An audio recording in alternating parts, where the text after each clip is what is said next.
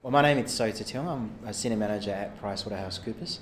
Um, when I first set out to do the project, the objectives that I had in mind, there were a few that I had in mind, um, but the key ones were really focusing on trying to identify um, what overseas Chinese graduates from Australian universities could experience working in, in Australia and in China, so across the two continents, but particularly focusing in on the expectations and any cultural gaps um, that they could experience in, as part of that um, working across the two different countries.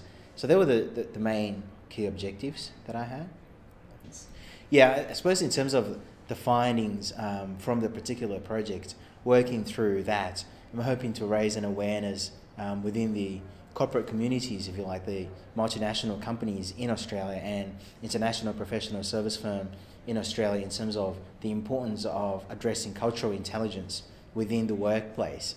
Um, albeit that you may have consistent work methodologies, operating platforms, the importance of cultural awareness, um, the fact that you need to make sure that you do identify any cultural differences um, that your employees may be experiencing and then addressing that.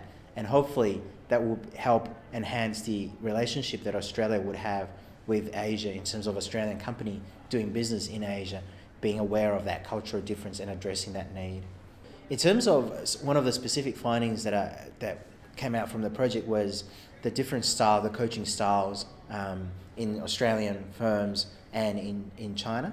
So one of the things that I that I sort of identify was within Australian firm there is a tendency for us to train our more junior staff to be more independent in the way they tackle problems and um, and solve um, problems. Whereas over in China, in their collectivism nature, there is a tendency for them to be more reliant on reliance on the more senior staff, particularly the immediate level um, above them. So that's one of the, the cultural difference, I suppose, um, between Australia and China.